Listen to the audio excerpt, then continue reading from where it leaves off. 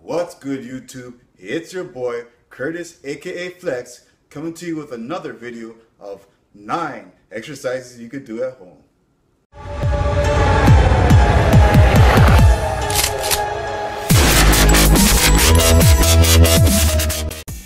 Okay guys, first we're starting off with the air bike.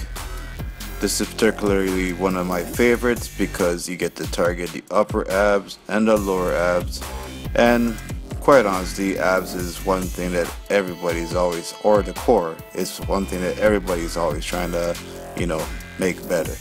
So uh, with this exercise in particular you want to make sure that your legs are extending so you can get that full actual squeeze at the top of your uh, uh, crunch.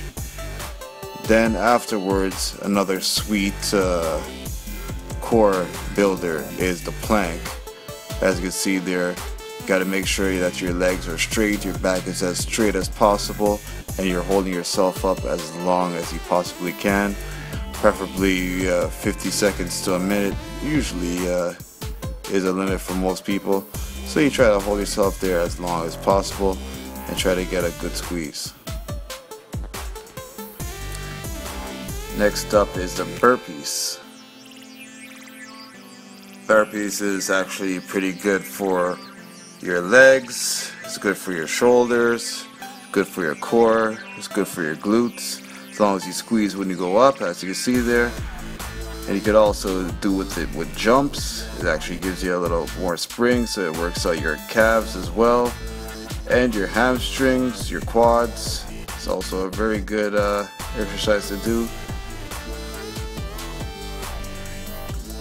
And then you could do the walkout burpees. These are particularly good for your shoulders as well as your glutes, your hamstrings, your chest, triceps as you can see there everything is being worked uh, when you're doing these here.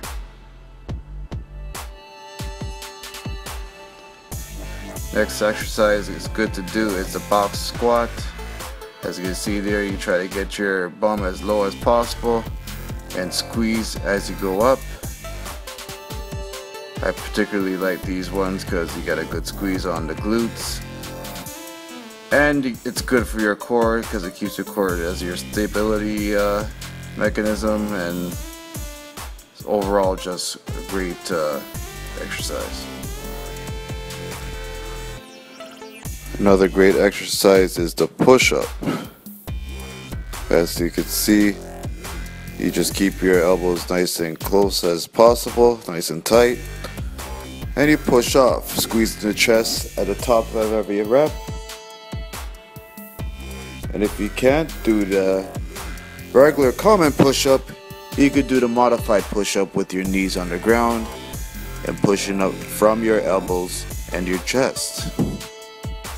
Try to keep your stomach as tight as possible which is always great to keep or to get that core muscle more developed. Also good for your triceps is the uh, seated dips or the dips as you see there. And as you see as well that it's hitting those triceps real good. And as you squeeze at the top, make sure you extend, but you don't extend your elbows too much. Keep your elbows nice and tight. Very good for the back of your arms or the triceps. Also, next exercise is the lunge. As you can see there, you make sure your knees, uh, if not touch the ground, at least get down as low as the ground.